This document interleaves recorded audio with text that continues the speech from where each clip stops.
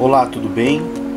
Hoje eu estou na cidade de São Paulo, mais especificamente no cemitério da Consolação, e neste vídeo mostrarei para vocês o local onde está sepultado o médico sanitarista Emílio Cândido Marcondes Ribas, ou simplesmente Emílio Ribas. Nascido em Pindamonhangaba no dia 11 de abril de 1862, Emílio era filho de Cândido Marcondes Ribas e de Andradina Alves Ribas. Ainda jovem, interessou-se pela medicina e decidiu se mudar para o Rio de Janeiro para estudar na Faculdade Nacional de Medicina. Formou-se em 1887 como um dos primeiros da turma. Formado clínico geral, casou-se e se mudou para a cidade de Santa Rita do Passa Quatro e depois para Tatuí. Em 1895, foi nomeado como inspetor sanitário e passou a trabalhar em São Paulo no combate a epidemias, em especial a febre amarela e a peste bubônica. Neste período, combateu vários surtos epidêmicos que assolaram as cidades paulistas de São Caetano, Jaú, Rio Claro, Campinas, entre outras.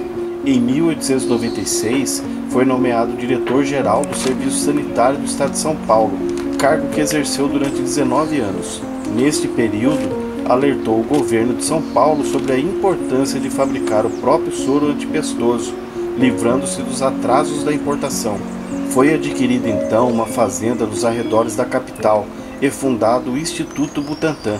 Ribas contou com a colaboração do médico Adolfo Lutz, então diretor do Instituto Bacteriológico do Estado de São Paulo, realizando importantes experiências para comprovar que a febre amarela era transmitida pelo mosquito Aedes aegypti. Ao perceber que o lixo acumulado nas cidades favorecia o surgimento de doenças e surtos, passou a exigir uma limpeza urbana mais cuidadosa. Acompanhou de perto as experiências do médico norte-americano Walter Reed e do cubano Carlos Finlay sobre a febre amarela em Cuba. Defendeu e comprovou a tese de transmissão da doença pela picada do mosquito, enfrentando os protestos da sociedade médica e da imprensa na época. Ao lado de Adolf Lutz e outros voluntários, se deixou picar pelo mosquito Aedes aegypti, para comprovar que a febre amarela era transmitida por mosquitos infectados e não de pessoa para pessoa, hipótese defendida até então. Rivas adquiriu a doença e comprovou sua teoria. No 5 Congresso Brasileiro de Medicina e Higiene, ele declara que a tese dos contagionistas não tem valor e a febre amarela é declarada extinta em todo o estado de São Paulo. Foi companheiro de trabalho de Adolfo Lutz, Vital Brasil, Diogo Faria, Vitor Godinho e outras personalidades. Sua produção científica, aliada à atuação em campo e à capacidade de administração foram extraordinárias. Em 1922, pronuncia sua última conferência sobre febre amarela no Centro Acadêmico da Faculdade de Medicina de São Paulo. Entre outros de seus feitos, constatou que o clima de Campos do Jordão era benéfico para as doenças pulmonares e colaborou para a fundação do sanatório da cidade para o tratamento da tuberculose. Ele realizou vários outros serviços e deixou trabalhos sobre a febre amarela, a febre tifoide e a lepra. Emílio Ribas morreu no dia 19 de dezembro de 1925 de causas naturais, pouco depois de profetizar para estudantes de medicina que não considerava a febre amarela coisa do passado. Não é fora de propósito supor que amanhã seus filhos ainda tenham de combater esse terrível pernilongo. Através da Lei 4.903, de 19 de dezembro de 1985, oriunda de um projeto do deputado Geraldo José Rodrigues Alckmin Filho, foi instituída pelo governo Franco Montoro a Semana Estadual da Higiene e Saúde Pública e Ocupacional, que deverá ser comemorada anualmente no dia 18 de outubro, Dia do Médico, a qual tem como patrono o Dr. Emílio Ribas, precursor do sanitarismo no Brasil. Agora eu mostrarei para vocês o local onde está sepultado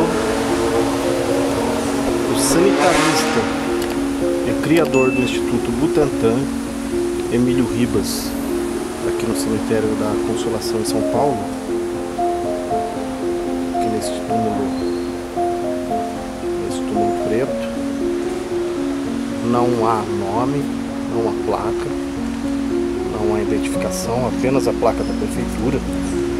a qual sinaliza médico sanitarista Emílio Ribas, aqui no cemitério da Consolação.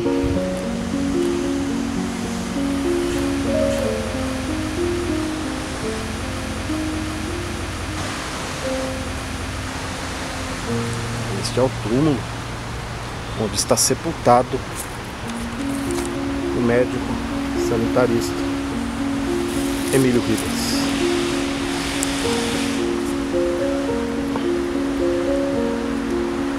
Enfim,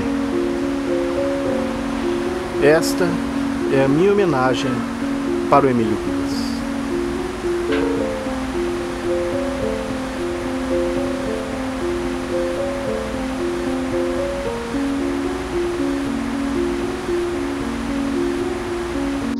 Botão de rosa é muito mais significativo quando é dado em vida do que uma coroa inteira de flores no silêncio do funeral. Dê flores enquanto as pessoas ainda podem sentir o cheiro, mas vá depressa, porque a vida passa rápido. Ame, abrace, ajude alguém, ajude a preservar a história da sua cidade e do nosso país. Até a próxima.